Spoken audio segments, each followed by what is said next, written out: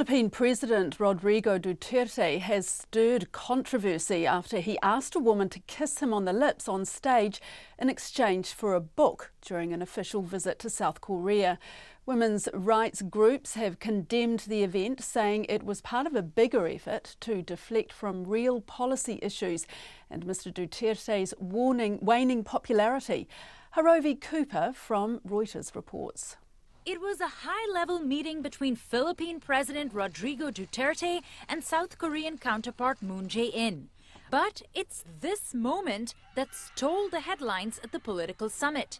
Duterte kissing a Filipino worker at a rally in Seoul caught on live television. Feminists slamming the kiss as a gimmick to entertain supporters.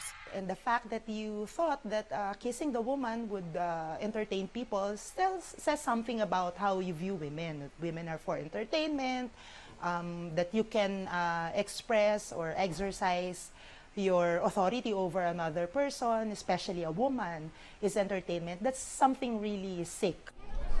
But many Filipinos at home thought the incident was completely harmless. For me, that kiss was okay, as long as the woman was okay with it. It seems like she was the one who even requested it. People are just putting malice to it, but it was just a simple kiss.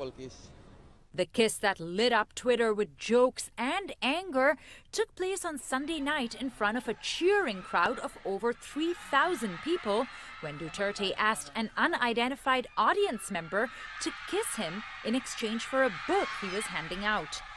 In a later interview, the woman identified as Bea Kim said the kiss did not mean anything to her and there was no malice.